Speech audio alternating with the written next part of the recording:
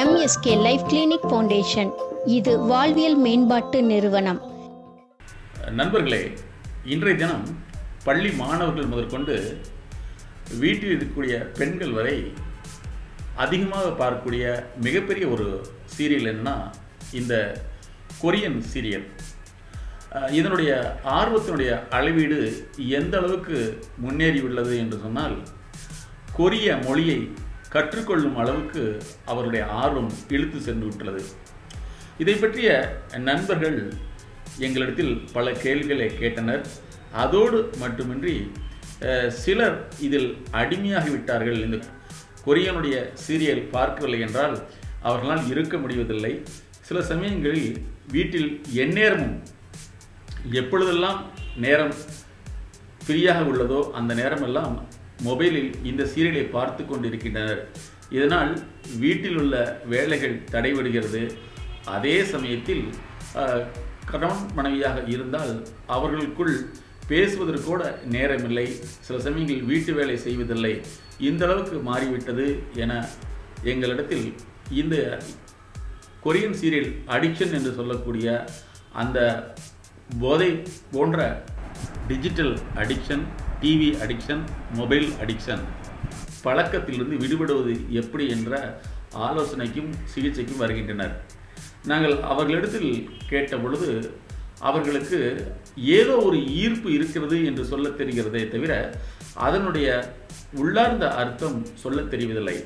நாங்கள் ஆய்வு செய்ததில் இவர்களுடைய மனது ஏன் அதன் பக்கம் செல்கிறது என்று சொன்னால் பொதுவாக நம்மளுடைய மக்களுடைய முகபாவனைகள் அவர்களுடைய செயல்கள் அவர்களுடைய உடல் அமைப்புகள் அவர்களுடைய நடத்தைகள் இதையெல்லாம் பார்த்துவிட்டு அந்த கொரியன் சீரியல் பார்க்கும் பொழுது அவர்களுடைய நடத்தை பேச்சுவார்த்தை அவர்களுடைய ஆடை அமைப்பு ஆடை அணிமுறை இன்னும் பல அல்லது பல பல்வேறு காரணங்களால் ஈர்க்கப்பட்டு அதில் அடிமையாகின்றனர்.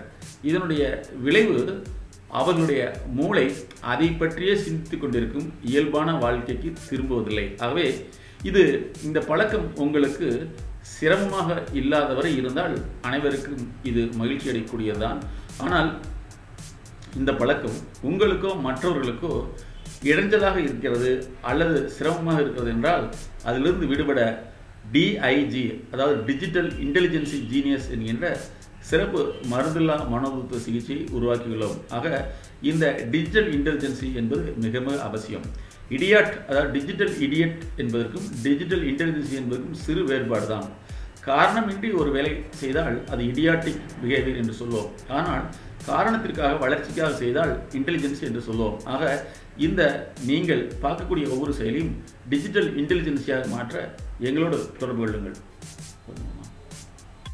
Welcome to MSK life clinic foundation சொல்ல முடியாத அழுத்த நினைவுகள் அடக்க முடியாத அழுகை கட்டுப்படுத்த முடியாத கோபம் தாங்க முடியாத கஷ்டம் தன்னை யாரும் புரிந்து கொள்வதில்லை என்ற ஏக்கம் அதிகமான பயம் தூக்கமின்மை உடல் சார்ந்த வழி இன்னும் இது போன்று பல சிக்கல்களிலிருந்து விடுபட நாங்கள் உதவுகிறோம்.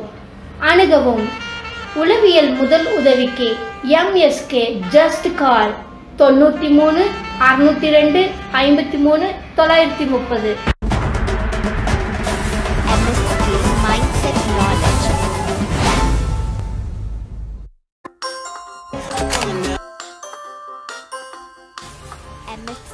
Mindset Knowledge. MSK life clinic foundation இது வாழ்வியல் மேம்பாட்டு நிறுவனம்.